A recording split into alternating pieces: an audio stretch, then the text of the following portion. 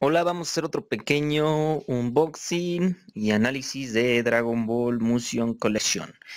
No se alcanza a ver muy bien por la iluminación. A ver, déjenme muevo.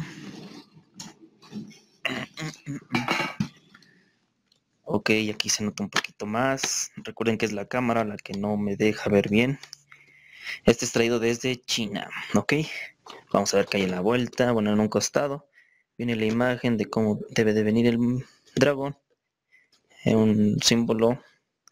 Aquí está, Dragon Ball Museum Collection y unas letras chinas que no sé qué dicen. No sé qué sea. Aquí vienen los modelos, este es el modelo y este es otro modelo.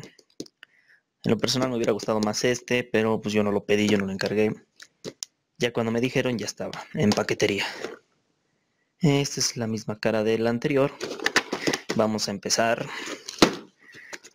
Vamos a sacarlo. Vamos a sentir un poco la textura como viene.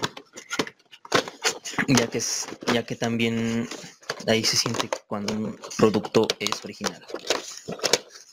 A ver, a ver, veamos, ahí está, ahí está afuera. Disculpen la calidad del video, no tengo una buena cámara, espero comprarme una buena. O si no, pues mm, seguir haciendo videos así con este. Y ya está el otro número de billetes y monedas del mundo. Cuesta 100 pesos, déjenme comprarlo y vemos si en esta semana puedo subir el video. Bueno, vamos a abrirlo. Vamos a quitar esto de aquí. A ver, ahí está. Vamos esto. Aquí viene Goku. Como, como ven, tiene los ojos así bien viscos, disparejos. Viene muy bien. A mí me vienen con su, con su báculo aquí. La nube voladora. Este hoyito se atora en el muñeco. Ok, ok. La textura es un poco así rugosa. El báculo es flexible. Bueno, se puede mover. Viene con su cola, con su cola de Saiyajin. Viene bien el muñeco, sus ojos son los que me dan risa y aquí tiene, me parece... Eh, no, es solamente son marcas, marcas aquí. A ver si enfoca. No, no se logra ver muy bien. Su pequeña gorrita. Viene muy bien el muñeco, viene bien hecho. Veamos a Shenlong. Sí, sí, sí, sí. Igual, la misma textura. Se sienten como las escamas. Las escamas de Shenlong. Eh, aquí no se logra apreciar muy bien el color, pero es así un color estilo café oscuro, café así como tipo café verdoso. Y el verde es como estilo, el verde es más o menos como como un café negro, negro así como que tipo oscuro. Ahora sí no sé de colores, la verdad. miren, este, estos son flexibles, se pueden mover.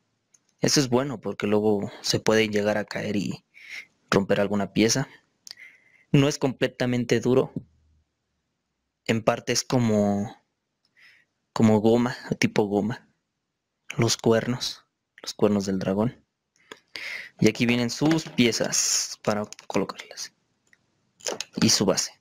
Bueno, ahorita, ahorita las pongo. Bueno, ya lo acomodé. A ver, a ver, a ver. Ya lo acomodé, vean. Aquí es donde se ensambla. Se me olvidó decirles que aquí también tiene una esfera del dragón. Nubes. Ahí. Uh, bueno, es lo que pasa cuando no lo sabes, no lo acomodas bien. Pero déjenme acomodar un poco mejor. Ahí está. Es que como no estoy usando una mano, por eso es que no puedo. Bueno, este, ahorita lo agarro así. Así es como queda. Les pondré una imagen del, muñeco, del juguete. Eh, si lo quieren pedir, en el enlace de abajo estará la página para que lo puedan este, pedir por correo. No es muy caro. Entonces en la parte de abajo les dejaré el enlace y al final del video les dejaré una imagen de cómo se ve esta figura. Bueno, espero les haya gustado. Son figuras chinas o japonesas, no sé, no exactamente. A mí solamente me dieron el muñeco, la figura, pero modos en la descripción les pondré la página. Espero les sirva, les haya gustado este video. Espero también traerles otro pequeño unboxing. Eh, y como les digo, el análisis pues es muy... Se sienten las escamas de Shenlong. También aquí en esta parte se siente la textura, se siente la textura completamente. Y el muñeco de Goku viene muy bien hecho, solamente los ojos y vienen un poquito raros. Vienen un poquito mal pintados.